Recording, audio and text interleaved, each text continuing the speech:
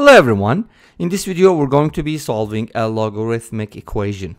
We have log x with base 10 when it's not written plus log 10 with base x equals 2 and we're going to be solving for x values.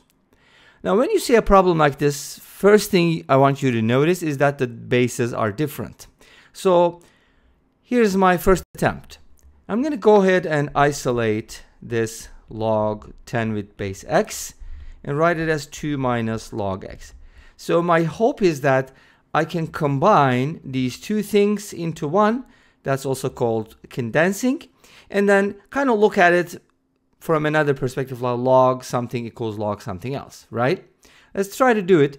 And since we have base 10 on the right hand side, we can actually write this as log 100, which is 10 to the second power, minus log x and then eventually write it as log 100 divided by x. And I want that to equal log 10 with base x. Now, if you have log a equals log b, then this just means, I don't know why this not not writing all well all the time, but maybe there's there's an issue with the pen. Anyways, if when log a equals log b, then we can immediately say a is equal to b, regardless of what the base is. But this is only true if the bases are equal, right? But here we have different bases. This is base x, this is base 10, right? So how do we handle this?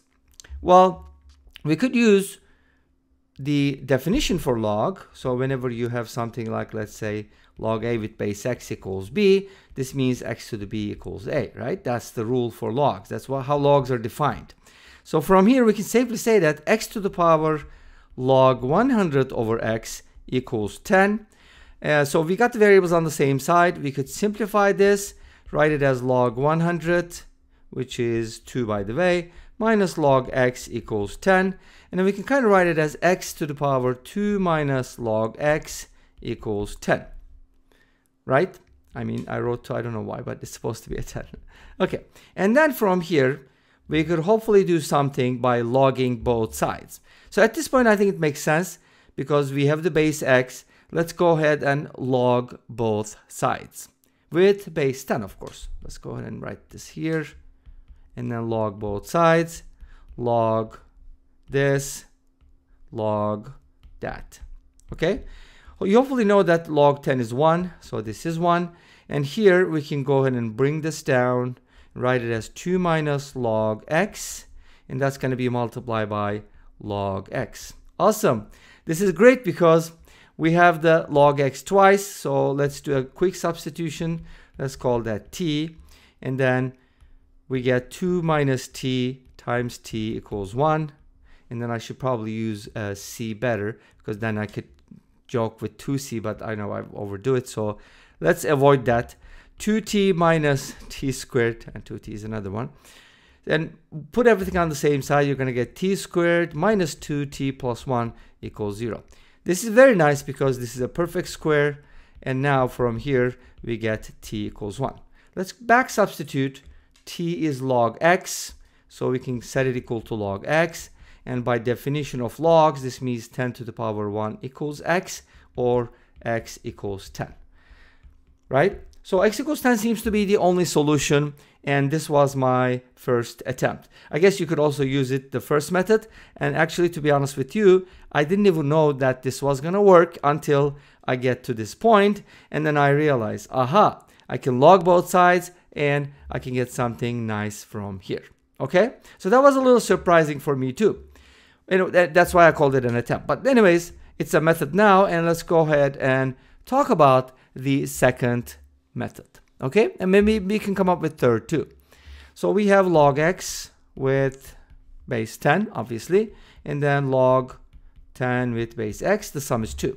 Now, obviously, if you kind of write this as follows, it's going to be a little easier.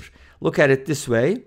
Put the little base 10 there, which is not normally written, and I know this is not standard. Some people use log x for natural log, especially Wolfram Alpha, which is kind of annoying. But anyways, what can you do?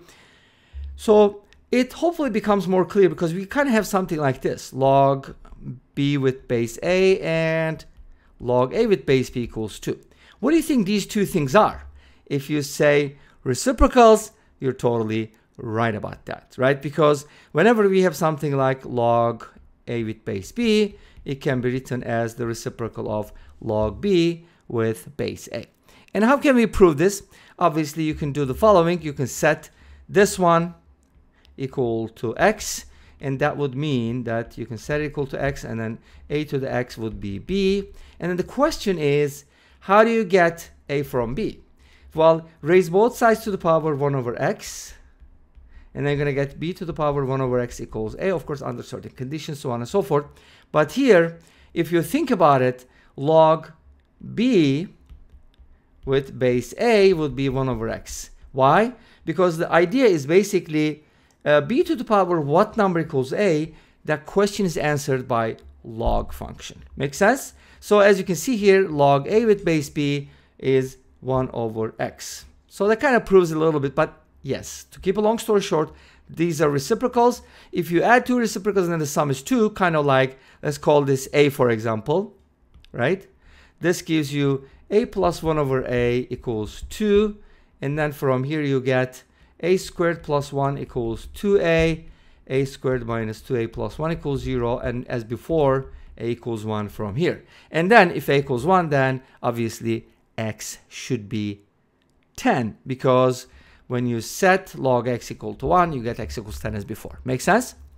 Okay, I hope it does. Now, we're going to look at an alternative approach, which I should probably call the third method because I just thought of something. So we have log x plus log 10 with base x equals 2. So I'm thinking about this problem like I have base 10 and I have base x. They're different bases. So whenever you have an equation with different bases, it's very problematic. For example, think about this equation. I think I made a similar video before, something like this, let's say.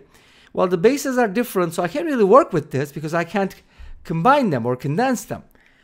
But there's something called change of base formula. So you can pretty much change to any base. How do you change this to another base, which obviously should be base 10, but let's just say the base is b in this case, and you should just put the 10 here and the x here, and you're done.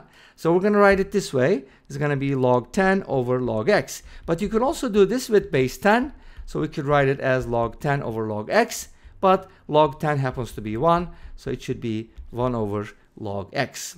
Awesome. This kind of gives us a quick shortcut and basically tells us that, hey, yay, these are actually reciprocals, right? So we can write this as log x plus 1 over log x equals 2. And then from here, hopefully you're going to find log x to be 1. That's the only, only solution. And this brings us to the end of this video. Thank you for watching. I hope you enjoyed it. Please let me know. Don't forget to comment, like, and subscribe. I'll see you next time with another video. Until then, be safe, take care, and bye-bye.